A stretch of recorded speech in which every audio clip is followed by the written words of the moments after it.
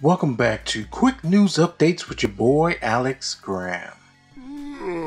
Boring. Now let's get into that. BlazBlue Cross Tag Battle Seth. The only thing I know about Seth is this. The brief glance I got at him as I passed him up pick Aurier. A young man shrouded in mystery to me and others, this assassin is feared by many. If he's whooping Blake's ass, this must tell you that his attacks are similar. He seems to close the distance really well and has some kind of timed ability. Basically, he's Blake with Weiss's ability, and that's a perfect assassin for you and his EX has three attacks at once. Oh, will someone think of the setup? He seems to be able to back dodge after launching, which would lead to amazing perfect setup. That's pretty sick. This guy is gonna be all over the screen. Look at that shit. I fucking love it. This boy is going in eh. hard. Just like your boy, Alex Gram. Going in eh. hard and deep with the BlazBlue Cross Tag Breakdown. A doubt, Seth is pretty sick. The BlazBlue Cross Tag Battle DLC characters accelerating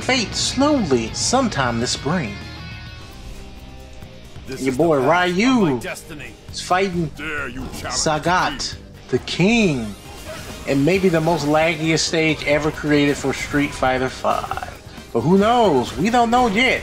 Maybe it's not going to kill itself trying to render all those blades of grass flapping in the wind still does look very, very epic. Man, I'll buy that for a dollar. But wait, of Fields is only two bucks or 40k worth of fight money. Once again, this has been your boy Alex Gram giving you the quick news update, and I'll see you next time for more quick news and updates about fighting games with your boy Alex Gram.